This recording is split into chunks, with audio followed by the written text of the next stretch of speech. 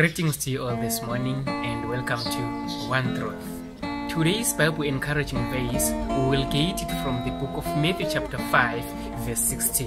It reads Let your light so shine before men that they may see your good works and glorify your Father which is in heaven. When we shed more light in this face, we find that we are like an epistle that is read by the whole world.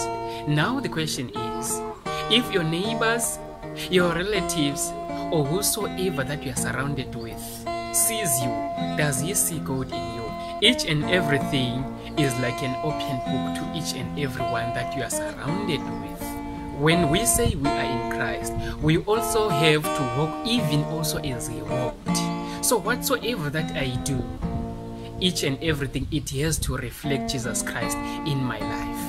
We might give the best sermons, but the only sermon that we can give that also have got conviction is how I live my life and how you live your life. So today, if you can try to do an introspection, see what kind of a life do you live? Do you glorify God in each and everything that you do? And each and everyone that looks at you, does he see Jesus in you?